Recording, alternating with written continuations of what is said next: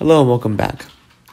DOOL Spoilers tease that Salem Abigail and her parents will be comparing ratings on Gwen this week on Days of Our Lives, and they will start to solve the puzzle. Viewers of Days of Our Lives will recall that Gwen has a long history of collecting newspaper clippings and other information about the Deveraux family. As Jack went through the newspaper clipping file Abigail and Anna had found in Gwen's bedroom, he saw some that dated back years.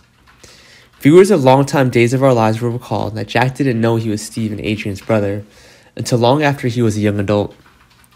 He had come to Salem in search of a cure for Hodgkin's disease, and Jenner found, found out he had been adopted.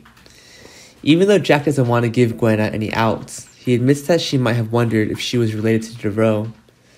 Jack's adopted family was very wealthy and in politics.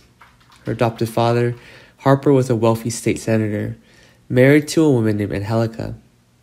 Jack points out that it would be unusual, to say the least, for someone to research a family and all of its members as many, many years ago as Gwen had collected newspaper clippings in the purpose of investigating potential employers.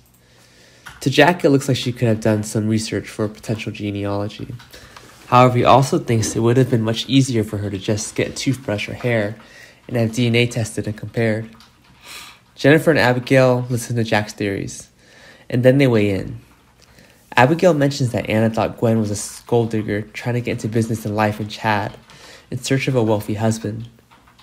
Jennifer notes that it was Gwen who found the letter that almost broke her and Jack for good, and prompted Abigail to go to Kate's room to borrow a pair of shoes. Gwen had conveniently found this mailbox and easily knocked it over on the floor for Abigail to easily pick up and read Jack's letter to Kate.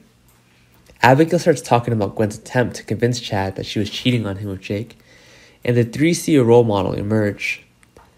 Gwen was with Jake at first, and he certainly wasn't rich like Jake Lambert. But could Gwen have known he was Stefan's twin and also targeted him for the sake of marrying money? They discuss Gwen's hard work to break up Chad and Abigail, and Jack and Jennifer, and while Gwen never made Jack feel like she wanted to have him, maybe he was a replacement just in case, where she couldn't have with Chad.